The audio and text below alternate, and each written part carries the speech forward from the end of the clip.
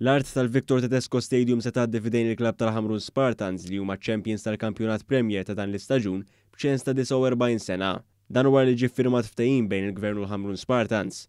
F'konferenza tal-aħbarijiet fl-istess ground ġie spjegat li l-viżjoni tal-klabb hija li dan il-ground jiġi trasformat f'ċentru sportiv li minnu tgawdi l-komunità kollha Il-faċilitajiet mhux biss se jintużaw mill-klabb, iżda wkoll min-nerseri tal-klabb u mill-istudenti tal-iskejjel.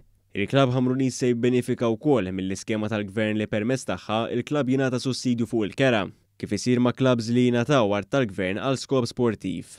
Il-President ta' Ħamrun Spartans Joseph Portelli ddeskriva dan il-ftehim bħala wieħed li se jkompli jgħolli l-livell tal-klabb fuq skala professjonali.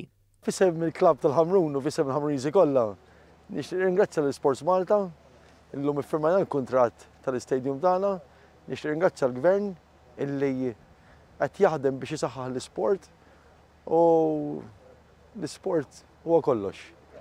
Bla sport x'inhi l-ħajja? Il-Ministru għall-Isport Clifton Grima qal li dan il-ftehim mhux biss huwa parti mill-viżjoni tal-Gvern li jgħin b'kull mezz possibbli lill-klabbs u l-għaqdiet sportivi Imma huwa wkoll appoġġ għal din il-viżjoni u li jkompli jiżviluppaw u jkabbru l-operat tagħhom. Faċilitajiet li issa għandhom it-titlu fuqha lura għandhom aktar ċertezza legali u allura hija konferma oħra kemm wara l-proċess parlamentari x-xhieda ta' xogħol li qiegħed isir, xogħol li jrid jiġi rifless f'riżultati sportivi ġewwa pajjiżna.